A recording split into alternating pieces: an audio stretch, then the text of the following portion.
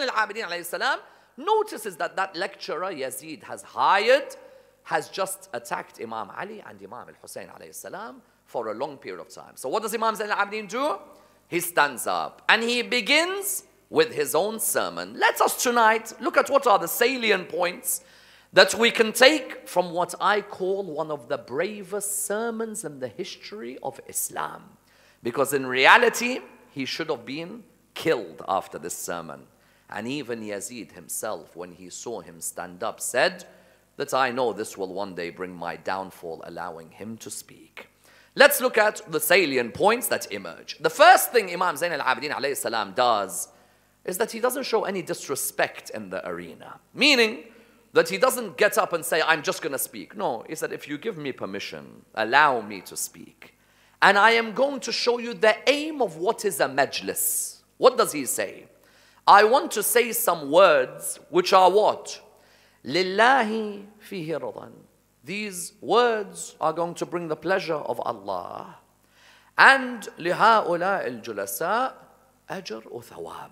And for those who are in the congregation, they're going to get rewards and they're going to get gifts because they're attending the congregation. From here, Imam has made something clear that whenever a majlis is done in honor of Al Muhammad, these have to be the two aims.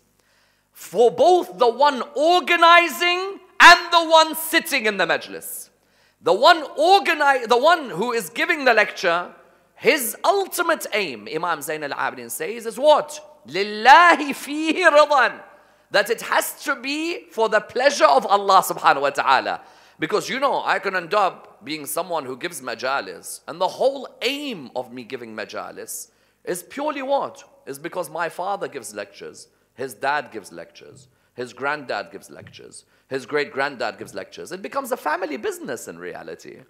It really becomes a family business because you're a, a, a high school dropout in some cases.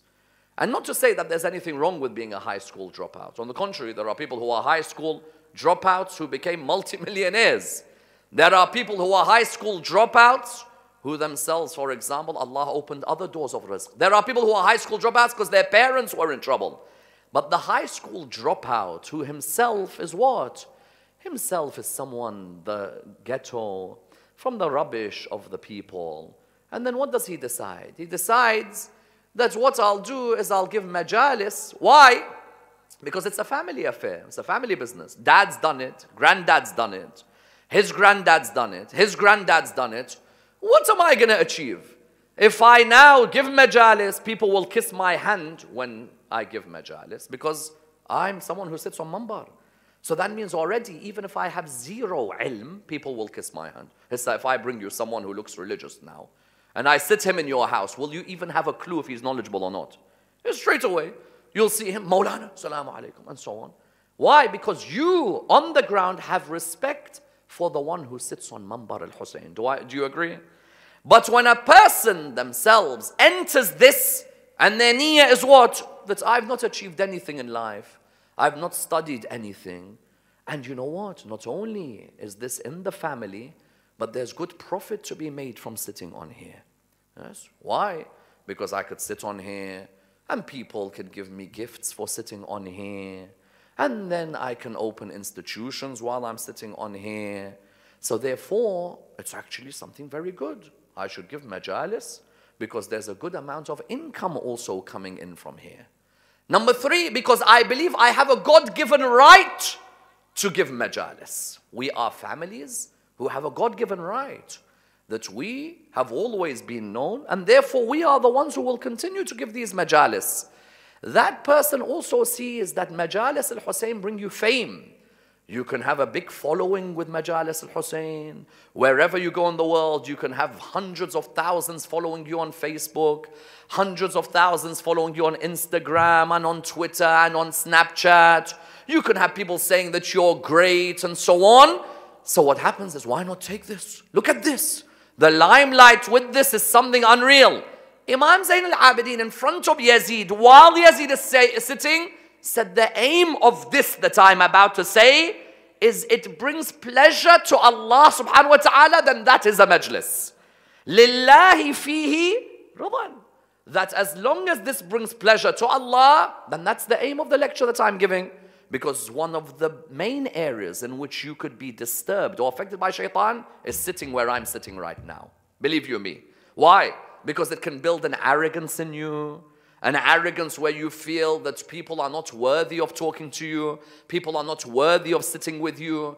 You begin to act rudely with people who organize majalis you actually begin to think of yourself as something big. The reality is, I could give 5,000, 10,000 majalis before I die.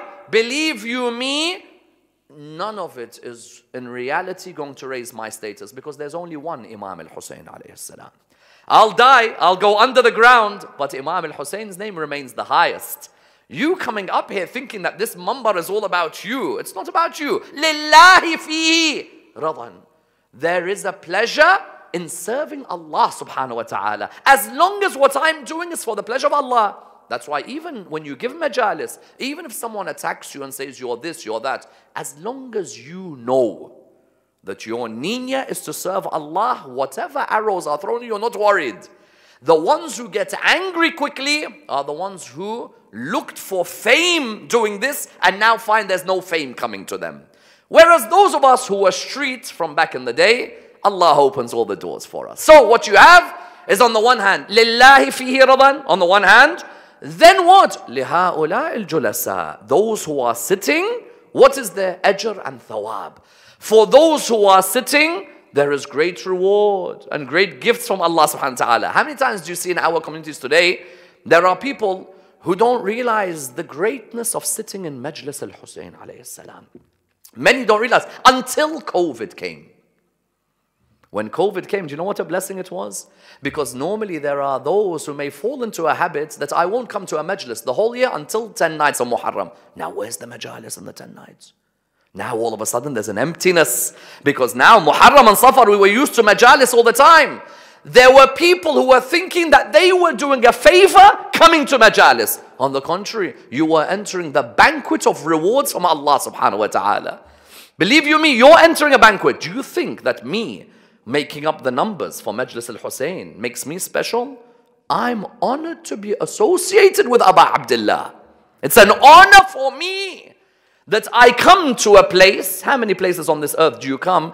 There are many who look for freebies. If they go to an exhibition, they go to a conference, they look for a freebie where you get a couple of gifts at the end. In this one, you don't just get gifts, ajr and thawab, non stop. We're going to reward you. Why? Why? Because you sat in Majlis al-Hussein alayhi salam. And you heard the words of Imam al-Hussein alayhi salam. And you heard Masa'ib al-Hussein alayhi salam. Do you know what we will do for you? We'll reward you. We'll let angels be your servants because you shed a tear for Sayyid al-Shuhada. Imam therefore says in front of the court of Yazid, لِهَؤُلَاءِ الْجُلَسَاء مِنْهُمْ Who are? هؤلاء الجلساء Who are they? Many of them were haters of Ahl al-Bayt. But Imam was saying, you know, for you people, even you people sitting in a majlis, you may hate us, but you don't know. Just sitting here has already brought you thawab. And there is already ajr for you people of Sham without realizing that you're sitting in Majlis al-Hussein alayhi salam. Never should we therefore take it for granted. Because when we fall into that trap, I'll go when it's Muharram, I'll go when it's Shahr Ramadan. No, no, no, no. Whenever you know there's a majlis, and don't fall into this trap, by the way, of going to a majlis on the basis of which marja you follow. Baba, go wherever there's majalis al-Hussein alayhi salam. Unfortunately, even in London, how many different mosques we split into, because of which marja we follow, we go to that mosque. Wherever there's a majlis of imam, there is ajr and thawab. I go there not because of my political rivalries or who my best friends are. I go there to learn about what Ahl al-Bayt left behind.